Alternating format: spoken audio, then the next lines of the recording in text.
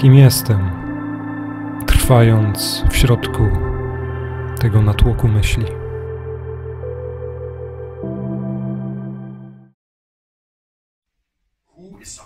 Kto cierpi? Kto cierpi? Nie po to, aby to zanalizować, rozkminić, zatrzymać. Nie możesz. Ale jeśli przekonasz się, co cierpi, co doświadcza cierpienia, wówczas cierpienie, przychodzące lub odchodzące, nie jest problemem. Możesz być jak Jezus na krzyżu, umierać. Najgorsza i najbardziej przerażająca, obrzydliwa, bolesna, wstydliwa śmierć, która jest możliwa, którą mogli wymyśleć Rzymianie i byli w tym dobrzy. I ciągle będziesz mógł powiedzieć: Ojcze, wybacz im, ponieważ nie wiedzą, co czynią. Ciągle mieć miłość, nawet w środku Twojego cierpienia. Wówczas możesz mieć tą miłość. To jest wolność. Nie zaprzestajesz swojego cierpienia. Masz wolność wewnątrz cierpienia, ponieważ cierpieć to być człowiekiem. Jezus cierpiał, Gandhi cierpiał, Marcin Luther King cierpiał, ale oni ciągle mieli wolność w środku ich cierpienia. Wolność od tego cierpienia podczas cierpienia. I wciąż służyć ludzkości? Całkiem nieźle.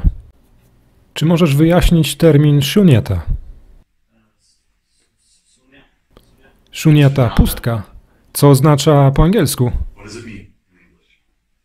pustka lub nicość. Nicość, tak?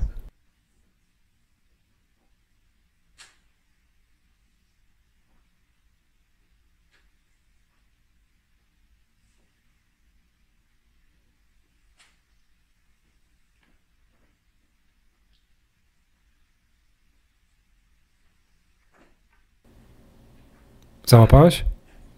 Nie bardzo. To prawda, to prawda.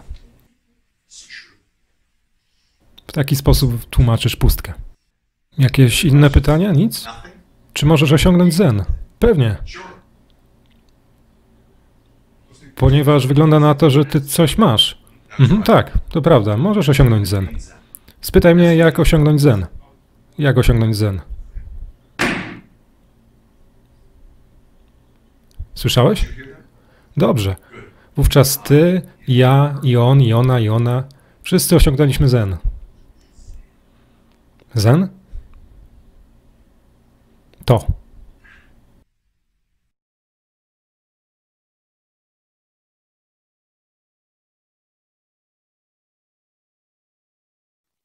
Arriving at a temple, the sixth patriarch came upon two monks arguing over a flag that was flapping in the wind.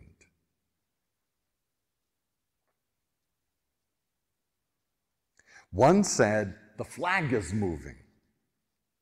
And the other one claimed, No, no, no, it's not the flag moving, it's the wind moving.